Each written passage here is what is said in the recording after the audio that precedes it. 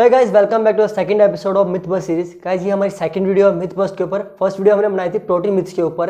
अगर आपने वीडियो नहीं देखी तो यहाँ से आप वीडियो को चेकआउट कर सकते हैं। ये सेकंड वीडियो है। इस वीडियो में हम बात करेंगे आपके जो काप्स है, उससे रिलेटेड जो मिथ है, उन सबके बारे में बात करेंगे and we will debunk them तो वीडियो काफ़ी इंटरेस्टिंग होने वाली है। आप वीडियो को एंड तक देखेगा चलिए वीडियो शुरू करते हैं।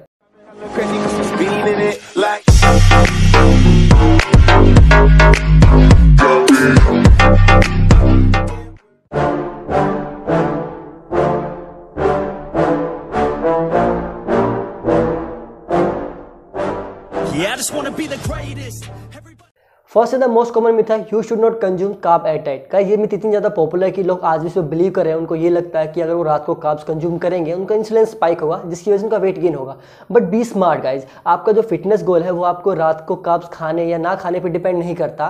फॉर एग्ज़ाम्पल अगर आपका मेन गोल है वेट लॉस तो आपको वहाँ पे कैली डेफिसिट डाइट फोकस करना होगा. सेकेंडली अगर आपका मेन गोल है मास गेन वेट गेन तो आपको वहाँ पर कैली सरप्लस डाइट पर फोकस करना होगा. इसमें आप रात को काप खा रहे हैं रात को काप नहीं खा रहे हैं, वो डिपेंड नहीं करता.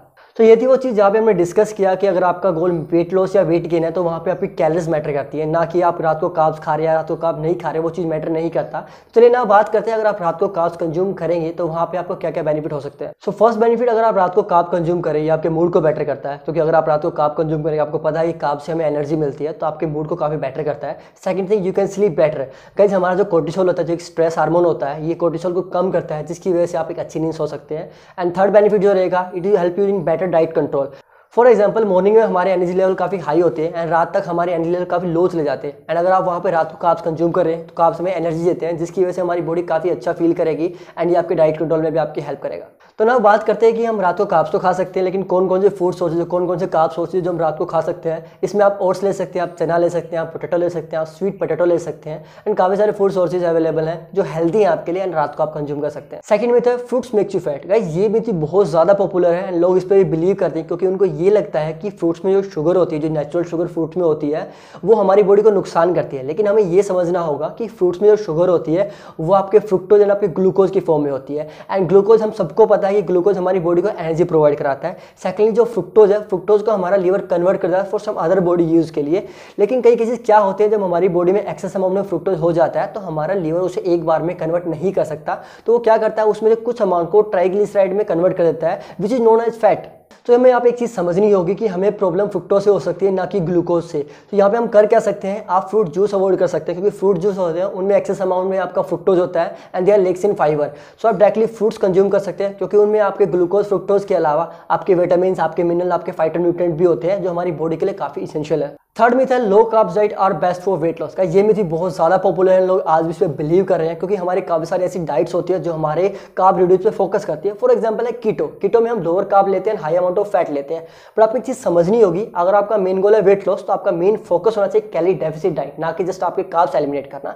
फॉर एग्ज़ाम्पल एक एवरेज पर्सन जो काब्स की रिक्वायरमेंट होती है होती है forty five to sixty five percent and अगर आप उसमें काब्स को एलिमिनेट करते हैं, मान लीजिए आपने thirty to forty percent carb eliminate किए हैं तो डेफिनेटली आप एक कैली डेफिसिट में चले जाएँगे एंड आप वेट लॉस करेंगे। बट ये चीज़ हर किसी के लिए काम नहीं करती, काफ़ी सारे केसेस ऐसे भी होते हैं जहाँ पे आपकी लो कार्ब डाइट आपकी बॉडी को नुकसान करती है।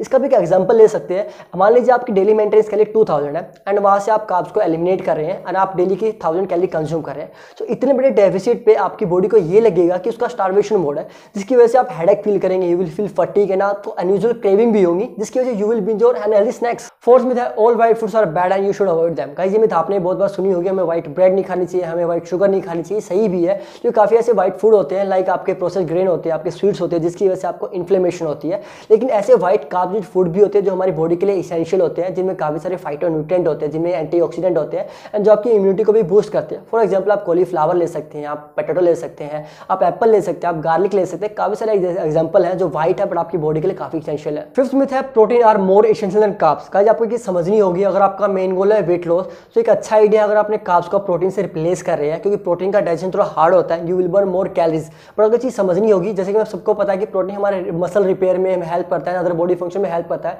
सिर्फ़ उसी तरह हमारा जो काप्स बॉडी को एनर्जी प्रोवाइड करवाता है तो हम यहाँ से डायरेक्टली हम टोटली काप्स को एलिमिनेट नहीं कर सकते। जितना रिक्वायरमेंट है प्रोटीन की है, वैसे हमें रिक्वायरमेंट होते हैं हमारे कार्ब्स की भी। दोनों के अलग अलग फ़ंक्शन होते हैं, दोनों हमारे बॉडी के लिए इसेंशियल होते हैं। तो ये थी वो मिथ जो कार्ब्स रिलेटेड है, जो हमें से काफ़ी लोग इन पर बिलीव कर रहे हैं, उनको ये लगता है उनको वेट लॉस करना, उन्हें राइस नहीं खाना चाहिए, उन्हें चपाती नहीं खाना चाहिए, उन्हें ब्रेड नहीं खाना चाहिए, लेकिन उनका जो गोल है उनको कंप्लीट करने के लिए, उनका जो मेन फोकस होना चाहिए, वो होना चाहिए कैली डेफिसिट डाइट पे, अगर आप कैली डेफिसिट में रहेंगे तो अगर आप कार्ब्स खा भी रहे हैं तो भी आप वेट लॉस करेंगे। So that's it for a day guys आज की वीडियो में कार्ब्स जो मिथ्स है, उनके ऊपर बात की। आई वीडियो आपकी हेल्प करेंगे। जो आपके कार्ब्स आपको जो मिथ्स है, जो डाउट्स है क्लियर करने में आपकी हेल्प करेगा। सो अगर आपको वीडियो पसंद है वीडियो को लाइक कर दिएगा दोस्तों के साथ वीडियो को शेयर कीजिएगा, ताकि उनके जो डाउट्स हैं, वो क्लियर हो जाए। अगर आप चैनल पर नए चैनल को सब्सक्राइब कर दीजिएगा। बिल्कुल फ्री है। अगर आपको कोई डाउट है कोई क्वेश्चन पूछना चाहते हैं, नीचे कमेंट कर सकते हैं। मेरे इंस्टा हैंडल पर मुझे डीएम भी कर सकते हैं। And stay strong